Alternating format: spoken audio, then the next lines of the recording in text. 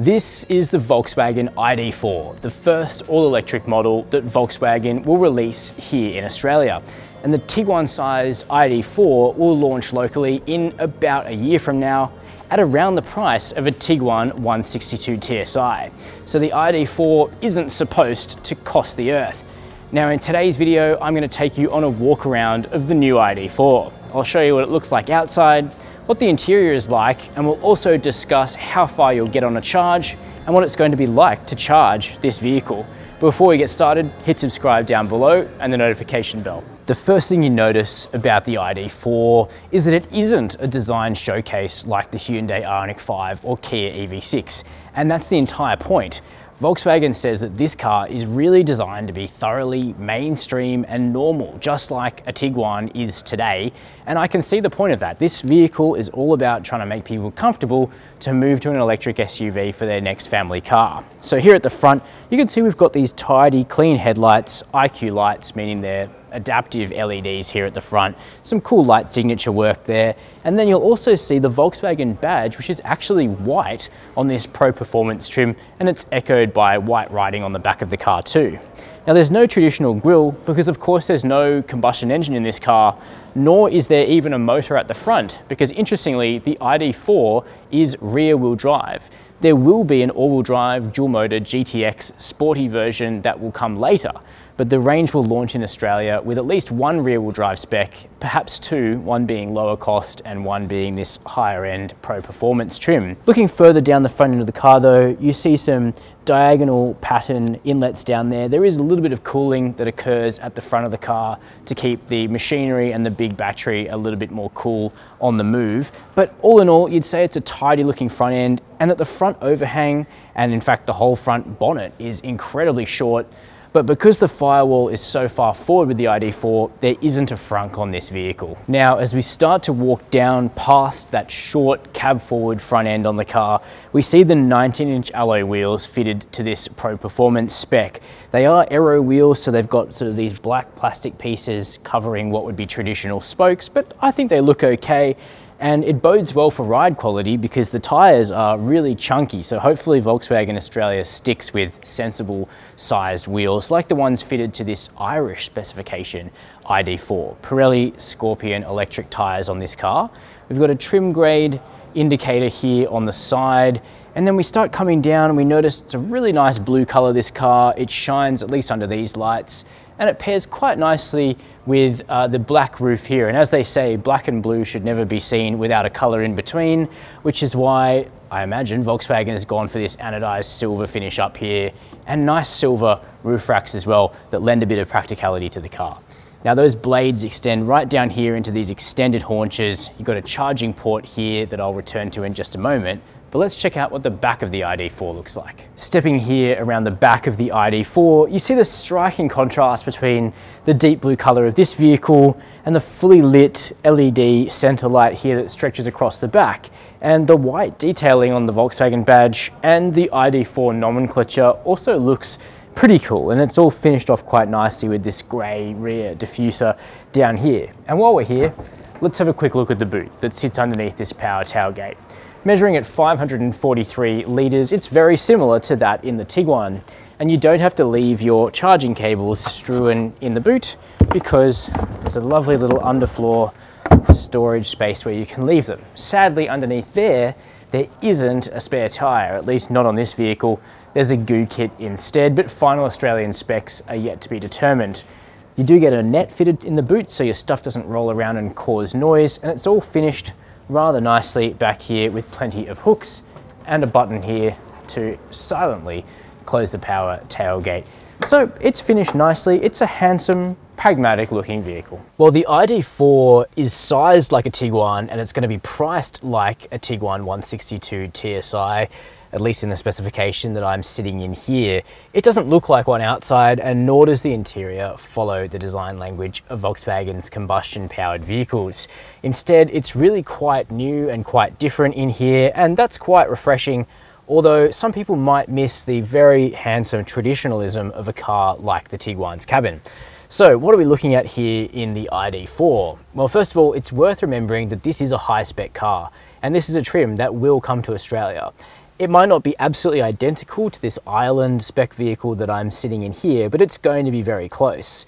It's basically an ID4 with all of the fruit and that starts with really sporty seats. These are like a sports seat option in Europe, but they might be fitted as standard here in Australia, and they're like a micro fleece or what Volkswagen calls art velours trim in a dark grey with white detailing and really cool ID perforations in the seat back. And from my first impression, they do feel comfortable, uh, but I'd have to do a few hours in the saddle before I could make a, a full determination. We're looking forward at a very different instrument cluster to what we're used to from Volkswagen, and that may be a good thing or not. The steering wheel itself feels familiar, covered in leather. The capacitive buttons certainly aren't to everybody's tastes, but you get used to them, and there's a subtle flat bottom on the wheel too. But behind it, there's an all-new cluster which is common to Volkswagen's ID vehicles. And it's a very small screen that just gives you the readouts you need right now, being your speed, the, uh, the car's adaptive cruise control and lane keeping systems, battery state of charge and range remaining. You don't have that full virtual cockpit type experience that we've come to expect of a Volkswagen at this price. And that's partially because you get a much bigger central screen than what Volkswagen normally puts into their cars. It's very high resolution, much higher res than a current Golf, for instance. You get wireless Apple CarPlay and Android Auto, and Volkswagen's own Software is nice and easy to use and the screen feels snappy, which is great because in the Mark 8 Golf it was quite laggy. We do still have the touch sensitive climate controls which are not lit and that's still not great, but you get used to it. I've been living with my long-term Cupra Formentor for a while now and you do get used to all this stuff. Material quality is decent, but probably not quite to the highs that we used to see in Volkswagens. There's soft touch on the dash, and on the tops of the doors here in the front, even if the grain of plastic isn't quite as nice as normal. But here, right in front of the passenger is hard, as is down here between the seats. But the thing is, this uh, electric SUV is not going to be outrageously priced. So you get a big battery with over 500 kilometers of range WLTP, we probably can't expect every bit of tinsel that we would normally get on a combustion car until the price of batteries equalizes with combustion at some point in future. Now you might notice this fixed panoramic glass roof above me. Unfortunately it doesn't open, but it does have a sunshade, unlike the Tesla Model Y, so it shouldn't be an issue in summer. And because these seats are not leather and they're not vinyl, they're not gonna heat up massively in summertime, which is great. Now, because this car sits on MEB, Volkswagen's dedicated electric vehicle architecture, the packaging is really good. So we've got a flat floor here in the front and in the back, loads of storage space down here, configurable cup holders, a bit like my old Mark 6 Volkswagen Golf, wireless charging, two USB-C ports, big air vents, and minivan style armrests so they don't have to have a big installation for a central armrest here. And to be honest, this feels like, you know, captain's cherry, feels good. And interestingly, you actually sit kind of down into the ID4. It looks like an SUV, but the driving position is quite sporty. So that's the front seat. Let's check out the back. Here in the back, the first thing you notice is how massive the space is for people that you stash back here. And that's interesting because the ID4 is only 4,584 millimeters in length, precisely. And that's interesting because the car looks much longer from how it's been designed outside, and it's only a little bit longer than a short wheelbase Volkswagen Tiguan, and yet the space in the back is chalk and cheese compared to that car. And that all comes down to the fact it's on a dedicated electric vehicle architecture. And so the firewall at the front there can be pushed all the way forward and liberate space in the interior, mainly for people here in the back. And it's basically limited like behind the front seat, I've got a vast amount of legroom, toe room's good, and headroom is okay. I've got another couple of inches underneath this glass roof and the body panels up here. Now, I'm being supported nicely by the seat base, so I could do a few hours back here.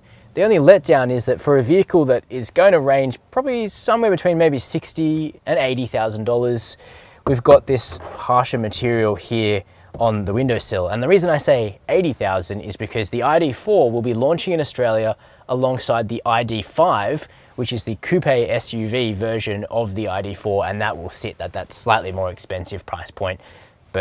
From my perspective, the practicalities of the wagon body ID4 probably make it superior, in my opinion. Now, we do get some extra stuff here in the back, including a flip down armrest with a couple of cup holders. We've got a pass-through For skis, that might be even more useful in the future ID4 GTX model, which has dual motor all drive and 225 kilowatts of power. And we've got air vents down here. They're very low though, but we do have air vents, USB-C ports, and a separate temperature zone for those here in the back. Pouches for storage as well, decent sized door bins. But all in all, what you can say about it is that for a five seat SUV, no third row yet, the ID4 is very, very spacious. You'll get baby seats back here easily. You'll get your kids back here easily. It's really pragmatic.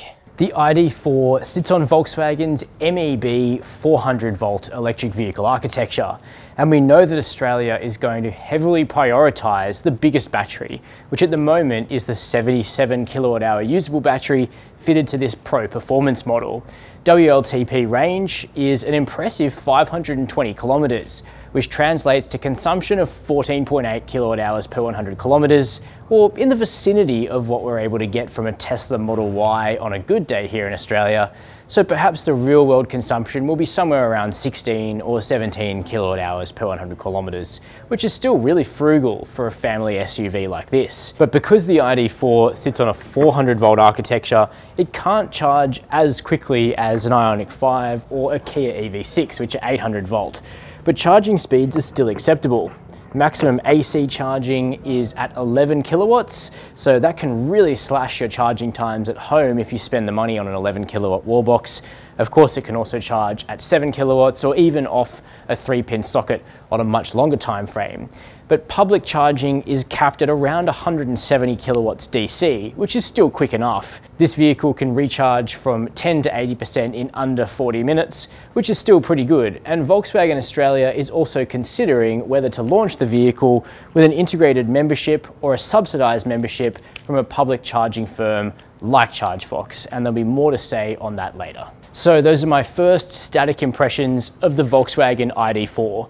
This midsize electric SUV is very deliberately not styled to be a statement, like many of the other electric vehicles that are entering the Australian market. It's handsome enough, but it's very pragmatic, and that was Volkswagen's whole point here. The ID4 is meant to make you feel at ease, comfortable to get out of something like a Tiguan or a competitive midsize SUV into a similarly sized car that's a bit roomier inside with a long range so you don't have to charge it all the time entering the electric era with ease. That's what the ID4 is about. It's a people's car.